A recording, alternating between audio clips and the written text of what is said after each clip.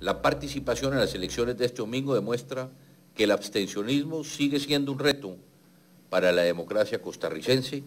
de la, de la misma manera que lo es en otras democracias consolidadas de la región. La misión destaca el espíritu democrático y la madurez con la que los candidatos reconocieron al final de la jornada los resultados electorales y saluda los pronunciamientos de trabajar juntos. La misión observó que la opinión consultiva de la Corte Interamericana de Derechos Humanos sobre identidad de género e igualdad y no discriminación a personas del mismo sexo dominó el debate político.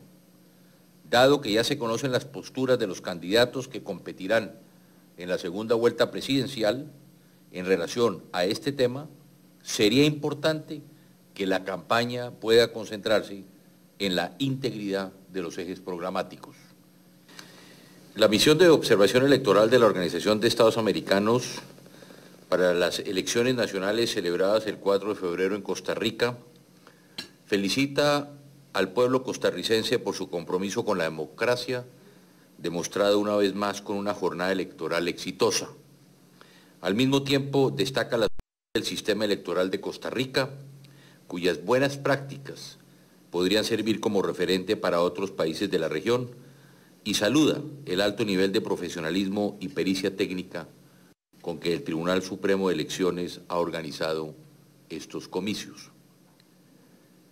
La jornada se, vivió como una fiesta democrática en la que predominó la convivencia respetuosa y el espíritu de colaboración entre los distintos actores del proceso electoral a pesar de diferencias ideológicas y programáticas.